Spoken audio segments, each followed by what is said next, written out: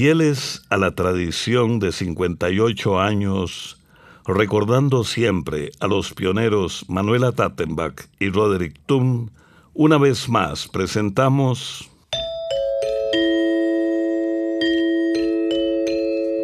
Oigamos la respuesta del Instituto Centroamericano de Extensión de la Cultura. Con nuestro lema, Comprender lo comprensible es un derecho humano. Hoy nos preguntan cuánta agua cabe en la trompa de un elefante. Vamos a conocer si es cierto que el planeta Tierra está girando más rápido. ¿Han venido extraterrestres al planeta Tierra? Estamos complacidos de este nuevo encuentro con ustedes amigos y les invitamos también para que puedan escucharnos en el Facebook de Oigamos la Respuesta a las 8 de la noche. Iniciamos la travesía de hoy en Boaco, Nicaragua.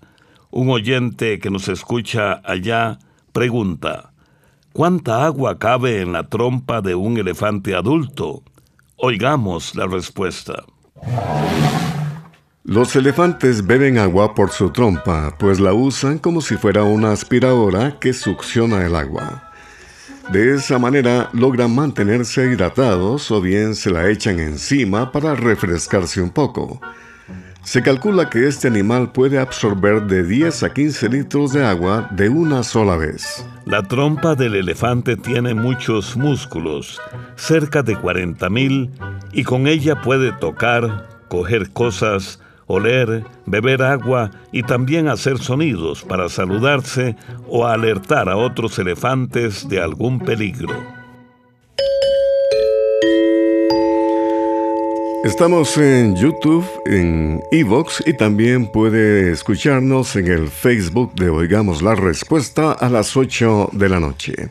Desde San Marcos, en Guatemala, nos escucha el señor Lizardo Montiel. Nos ha enviado un correo electrónico y dice, ¿a qué se debe que a algunas personas les truena mucho los huesos de las articulaciones y más de rodillas y tobillos? Siempre que hacen una flexión se escucha la tronadera. Escuchemos la respuesta. Se suele pensar que ese sonido como de crujido o chasquido se produce cuando los huesos están desacomodados y recuperan su posición normal.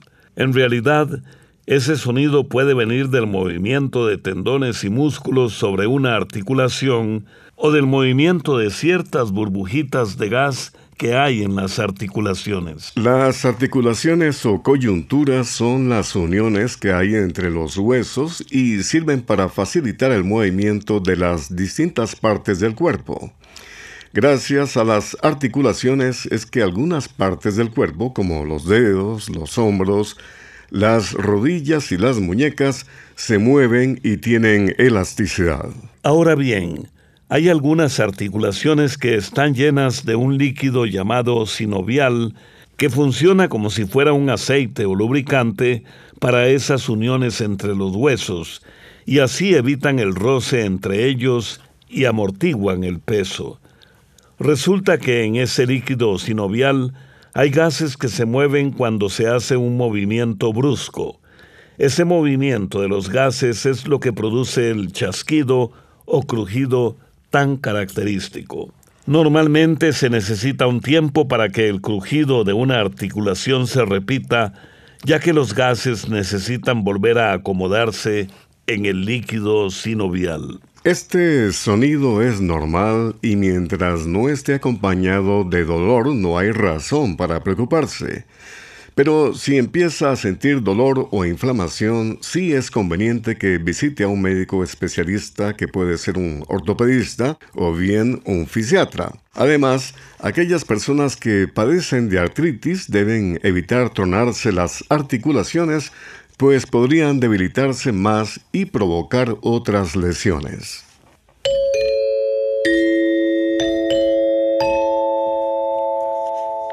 Dicen que la Tierra está rotando con más velocidad y que por eso los días son más cortos. ¿Por qué los relojes llevan el mismo ritmo? ¿A qué se debe esto? Son las preguntas que nos hace el señor José Luis González González desde Jinotega, Nicaragua. La Tierra gira sobre sí misma como si fuera un trompo y tarda aproximadamente 24 horas en dar una vuelta completa. Gracias a ese movimiento se da el día y la noche. Desde los años de 1960 se ha venido registrando la duración de los días y se ha notado que la Tierra se ha acelerado un poco, pero esa aceleración es tan pequeña que no podemos notar el cambio. Los científicos que estudian estos temas sí pueden percibir esos cambios usando máquinas y cálculos muy complejos.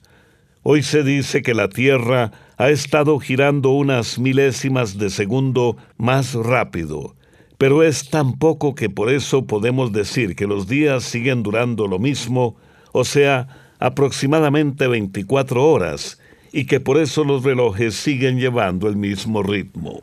Por otra parte, muchas personas tienen la sensación de que el tiempo corre muy rápido. Eso se debe a que hay otra clase de tiempo que se conoce como tiempo psicológico. El tiempo psicológico es el que se mide con la sensación personal. Así, por ejemplo, si nos vamos un mes de vacaciones a una playa y la estamos pasando muy bien, al final nos parecerá que no ha pasado un mes, sino solo unos cuantos días. Si por el contrario tuviéramos que estar en cama por una enfermedad, un día se nos haría eterno, tan largo como un mes. Otro ejemplo pasa en el fútbol, pues para los aficionados y jugadores del equipo que va ganando, el minuto final puede volverse eterno, mientras que para la afición contraria puede volverse muy corto. El tiempo psicológico es diferente en cada persona. Hoy vivimos tan ocupados que da la sensación de que el tiempo corre más rápido que antes. Pero escuche qué interesante. Según se ha investigado, esa sensación de que el tiempo corre más rápido que antes pasa cuando se llega a adulto, pues la vida se vuelve más rutinaria y no hay tantas cosas nuevas por experimentar. En un estudio se le preguntó a más de 400 personas sobre el ritmo al que sentían que el tiempo se movía. Los participantes mayores de 40 años sintieron que el tiempo pasó lentamente en su infancia, pero luego se aceleró de manera constante durante la adolescencia hasta la edad adulta. La explicación que dieron los científicos sobre esto es que desde la infancia hasta la edad adulta tenemos muchas experiencias nuevas y aprendemos muchísimas habilidades. Sin embargo, como adultos, nuestras vidas se vuelven más rutinarias y experimentamos menos momentos desconocidos. Por eso, se recomienda tratar de salirse de la rutina como vacacionar o descubrir cosas nuevas que siempre existen, pues eso dará más bienestar y calidad de vida. La tradición musical de los pueblos nos llega esta vez desde Nicaragua, con Carlos Valle, guitarra y acordeón. Mariposa mensajera.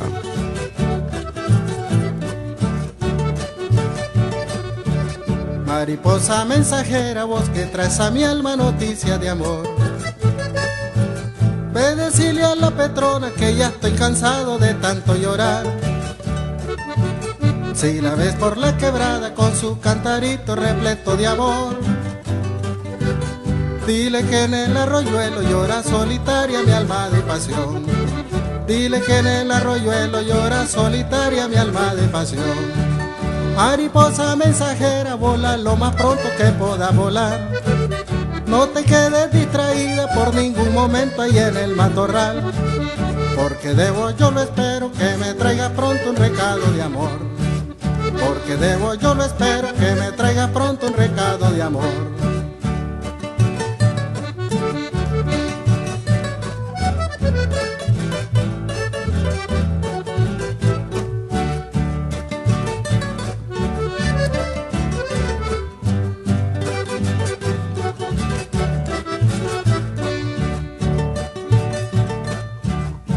Quejumbroso y achacoso ya me estoy quedando de tanto llorar La hambre se me está quitando, tengo muchos días de no merendar. Toditas las mañanitas cuando me levanto a contemplar el sol. Los ojos me charchalean, ciego estoy quedando de tanto llorar. Los ojos me charchalean, ciego estoy quedando de tanto llorar. Mariposa mensajera, vola lo más pronto que puedas volar. No te quedes distraída por ningún momento ahí en el matorral. Porque debo, yo lo espero, que me traiga pronto un recado de amor. Porque debo, yo lo espero, que me traiga pronto un recado de amor.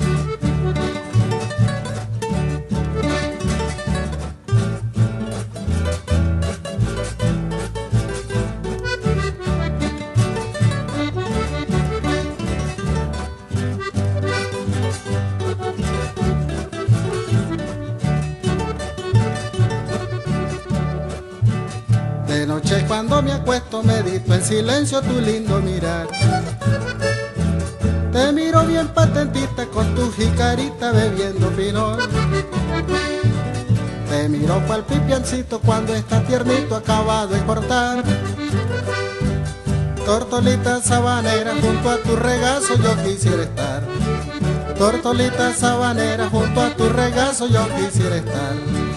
Mariposa mensajera, vola lo más pronto que puedas volar. No te quedes distraída por ningún momento allá en el matorral. Porque debo, yo lo espero, que me traiga pronto un recado de amor. Porque debo, yo lo espero, que me traiga pronto un recado de amor. Porque debo, yo lo espero, que me traiga pronto un recado de amor. Envíenos sus preguntas al apartado 2948-1000 San José, Costa Rica. También nos puede contactar al correo electrónico isq.org o encuéntrenos en Facebook como Oigamos la Respuesta. Regresamos de la música y aquí está la consulta de un estimado oyente. Nos envía una pregunta desde San José, Costa Rica, a través del WhatsApp. Dice, ¿de qué se trata el proyecto Proteus? Escuchemos la respuesta. El proyecto Proteus consiste en construir una gran estación submarina que sirva como observatorio científico del fondo de los mares. Este proyecto es ideal del francés Fabien Cousteau, quien es nieto del legendario explorador de los mares Jacques Cousteau, quien permitió a muchas personas conocer la riqueza de los océanos gracias a sus fotografías, videos y películas. Quien permitió a muchas personas conocer la riqueza de los océanos gracias a sus fotografías, videos y películas. Pues bien, Fabián Cousteau tuvo esta idea luego de estar un mes bajo el mar en una pequeña estación llamada Aquarius, que le permitió ver con calma y detalle una gran cantidad de especies marinas. Algunas personas dicen que el proyecto Proteus vendría a ser algo similar a la Estación Espacial Internacional que se mantiene en órbita estudiando el planeta desde el espacio. En este caso, sería la exploración de los mares específicamente de una región del Mar Caribe cercana a la isla de Curazao. Allí se planea construir una plataforma de más de 1.200 metros cuadrados de superficie con habitaciones para unas 12 personas que se dedican al estudio de la vida marina. La estación submarina también tendrá un laboratorio y todos los instrumentos científicos necesarios así como un invernadero para cultivar plantas y vegetales frescos y un estudio de video para hacer reportes y programas educativos. Por ahora, Cousteau está buscando el financiamiento de este interesante proyecto y se espera que tenga éxito, sobre todo por el legado de amor por los océanos que le heredó su abuelo Jacques Cousteau. ya adquirió el almanaque Escuela para Todos del año 2023, apresúrese porque está muy bueno y se podrían acabar. Desde Cotobruz, Punta Arenas, Costa Rica, un estimado oyente nos hizo esta pregunta por medio de una carta. ¿Cómo fue la vida de Einstein tras el triunfo de los nazis en Alemania? Oigamos la respuesta. Albert Einstein es considerado el científico más importante del siglo XX. Sus descubrimientos y su pensamiento influyeron en muchos campos de la ciencia y lo siguen haciendo. Las teorías de Albert Einstein contribuyeron a que la ciencia y la tecnología alcanzara un desarrollo muy importante. Entre las teorías más famosas que propuso están la teoría de la relatividad, el efecto fotoeléctrico, las ondas gravitatorias y muchos otros aportes de los que podemos hablarle en otro momento. Volviendo a su pregunta, Einstein nació en 1879 en una familia judía, en una ciudad de Alemania llamada Ulm. Para el año 1933, el partido nazi llegó al gobierno de Alemania y empezó una persecución, captura y exterminio de millones de personas judías. Einstein comprendió que lo mejor era marcharse con su familia. Entonces, Albert Einstein renunció a la ciudadanía alemana y se fue a vivir un tiempo a Inglaterra. Luego obtuvo la ciudadanía estadounidense y viajó a los Estados Unidos. Llegó a la ciudad de Nueva York en octubre de 1933 y vivió en Princeton, Nueva Jersey. Trabajó el resto de su vida en la universidad de esa ciudad hasta que murió en 1955.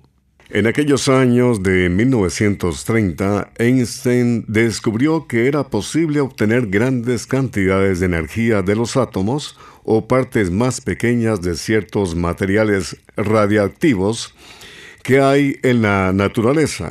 Aprovechando estos nuevos conocimientos, los militares de Estados Unidos empezaron la construcción de un arma nueva que llegaría a ser la bomba atómica. En este proyecto trabajaron físicos como Enrico Fermi, Richard Phillips Feynman y Edward Teller. Todos estaban bajo la supervisión de Julius Robert Oppenheimer, a quien también se le conoce como el padre de la bomba atómica por haber sido el director del proyecto. La primera bomba atómica fue puesta a prueba en 1945 en una desolada región de Nuevo México, Estados Unidos. Para este experimento se usó un material radiactivo llamado plutonio. Una carga del tamaño de una pelota de béisbol produjo una explosión parecida a la que producirían 20.000 toneladas de dinamita. En ese mismo año, 1945, durante la Segunda Guerra Mundial, se usaron las primeras bombas atómicas como armas militares sobre las ciudades japonesas de Hiroshima y Nagasaki. Fue una verdadera lástima que esos conocimientos, que podían servir para producir energía, fueran utilizados con fines destructivos. Muchas veces se ha dicho que Albert Einstein había sido uno de los culpables de la bomba atómica. Sin embargo, él no participó directamente de la fabricación y más bien estuvo en contra de que se fabricaran armas de esta clase.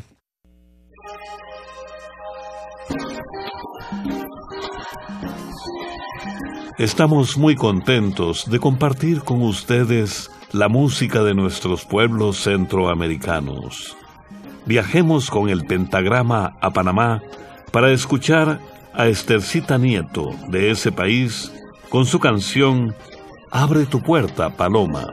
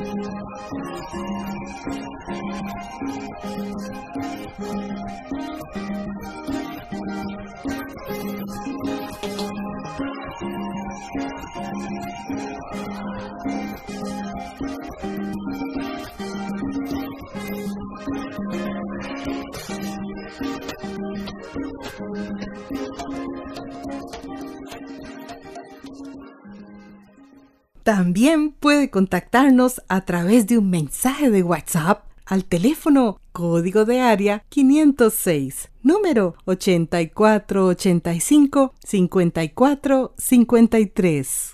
Luego de la música continuamos con ustedes, nuestros amigos y amigas oyentes, y aquí está una pregunta que nos llega desde Managua, Nicaragua. El señor José Manuel Flores Polanco nos ha enviado su mensaje al WhatsApp del ICQ. Dice, Quiero saber si han venido extraterrestres aquí a la Tierra o hay Transformers habitándola. Escuchemos la respuesta.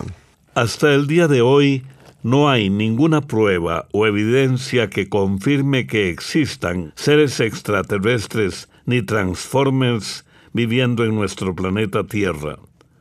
Por el momento solo pasa en la imaginación de muchas personas que escriben libros de ciencia ficción o hacen películas sobre estos temas que llaman mucho la atención. Lo más nuevo que podemos contarles sobre esto es que en el año 2021 la NASA, que es la Administración Nacional de Aeronáutica y el Espacio de los Estados Unidos, anunció que haría una investigación sobre los objetos voladores no identificados, más conocidos como ovnis, aunque hoy día la NASA prefiere llamarlos fenómenos aéreos no identificados o FANI en español. El resultado de esta investigación está a cargo de un grupo de científicos, profesores, astronautas, oceanógrafos y periodistas especializados en este tema. Se espera que los resultados de la investigación se den a conocer este año 2023. Por otra parte, en el año 2021, la CIA, que es la Agencia Central de Inteligencia de los Estados Unidos, liberó cientos de documentos sobre ovnis de los últimos 70 años, o sea que cualquier persona puede ver estos documentos. Se trata de más de 2.700 páginas de documentos que en años pasados eran clasificados o confidenciales. Aún así, aunque la CIA diga que ese es todo el material que tienen, hay quienes dicen que no hay manera de confirmar que eso sea cierto. Mientras tanto, como sobre este tema se ha preguntado mucho, le estamos enviando junto a esta carta el artículo que se publicó en el libro Almanaque Escuela para Todos del 2017, que se titula ¿Qué son los ovnis? Esperando que este artículo sea de su utilidad y agrado. Desde León, Nicaragua, el señor Alberto Martínez nos envía esta solicitud. Escuchemos. Quiero contactar a mi hijo que se fue a Costa Rica el 25 de noviembre del año 1998. Desde ese momento no sé nada de él y quiero ver si por medio de este programa me pueden ayudar a localizarlo. Quizás algún oyente me pudiera ayudar a localizarlo o a darme alguna información. Mi hijo se llama Omar Francisco Martínez Martínez. Si Omar escucha este mensaje o si alguien lo conoce, puede contactar a don Alberto al teléfono código de área 505 86 38 03 55. Repetimos. Don Alberto Martínez busca a su hijo Omar Francisco Martínez Martínez, quien se fue a Costa Rica el 25 de noviembre de 1998. Si alguien conoce a Omar, le pedimos que le diga que su padre, Alberto Martínez, lo busca y que puede contactar a su padre al teléfono código de área 505, número 86 38 03 55. 505 86 38 03 55. Compartimos con ustedes en el final de este espacio una frase de la tenista estadounidense Venus Williams.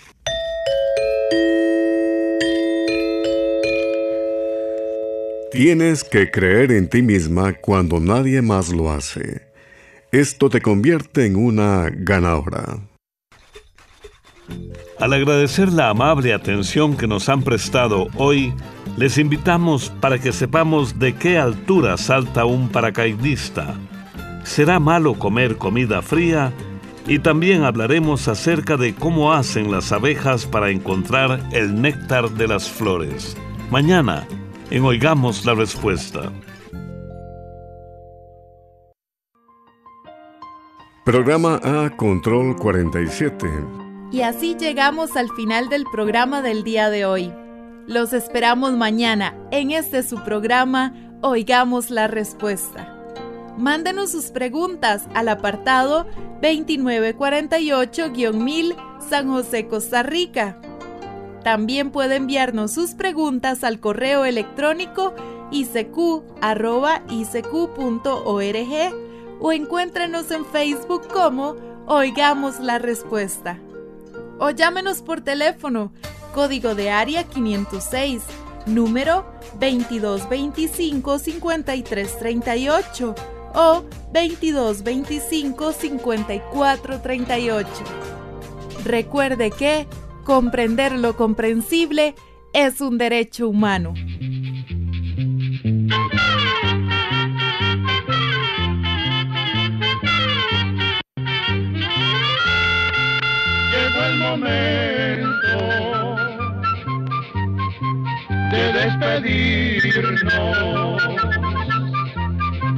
Se va a la escuela se va cantando.